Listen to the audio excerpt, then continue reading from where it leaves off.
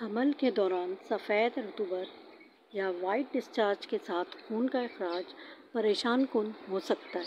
इस किस्म की रतूबत को ब्लडी शो या स्पॉटिंग कहा जाता है और ये मुख्तलिफ़ वजूहत की बिना पर हो सकती है। जिनमें से कुछ मामूल के की बात होती है, जबकि दीगर सूरतों में फौरी तबी तवज्जो की ज़रूरत होती है।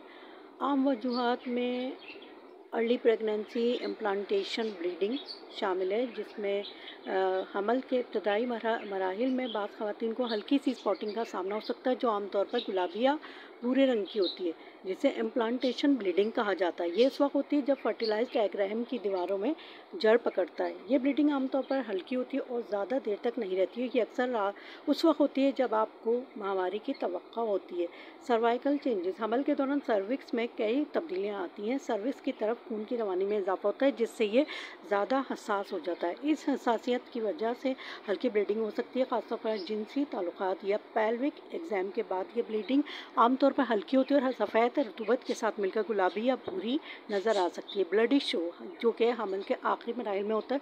जब आपका अमल अपने आखिरी मराहल में होता है तो आपको गुलाबी या खून मिला हुआ अखराज नज़र आ सकता है। इसे ब्लडी शो कहते हैं।